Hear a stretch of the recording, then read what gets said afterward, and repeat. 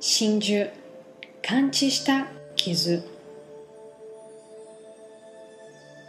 傷されていない貝は真珠を作りません。真珠は痛みから作られるものです。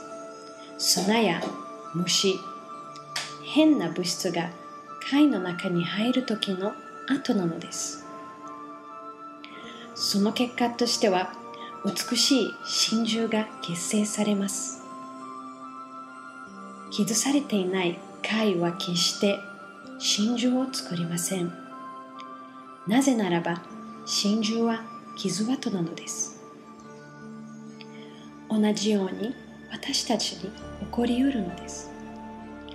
きつい言葉に傷ついたことがありますか？言わなかったことに誰かが勝手に言われたように判断されたことがありますか？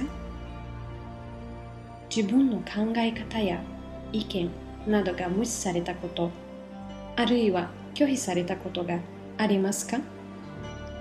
差別を受けたことありますか？変な目で見られたことありますか？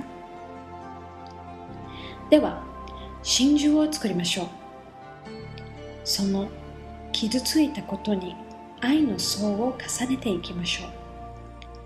純粋な愛によって包んでください。私たちを作った神様だけがその愛を与えることができます。残念ながらほんの少しの人がこのような行動をとります。多くの人がその傷を育成させます。開いたままにしてもっとひどくなっていきそれでも許さないままで過ぎ去ってしまいます。いつまでも傷跡にはならない。